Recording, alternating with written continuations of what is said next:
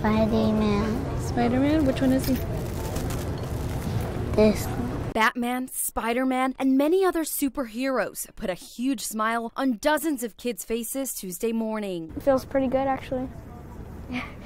it's pretty cool. Um, I didn't really think I was going to meet him in real life, though. One in particular even had happy feet as his favorite character approached him. It's great being able to come around and see the kids and be able to put a smile on their face for, you know, I mean, trying to get them out of their mindset of what they're here doing. So it just means so much.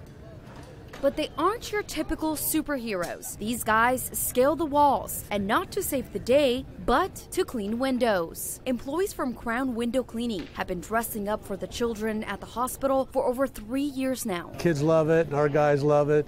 Gives them a chance to do something different than just clean windows all day. After cleaning the windows, they stopped by to meet with each patient. Parents say the kids need it. We've been up in the hospital since Friday. We haven't come outside, so this is just a little bit of joy for Trent instead of being in his bed. So it's awesome. At Valley Children's Hospital, Thank you. You're welcome.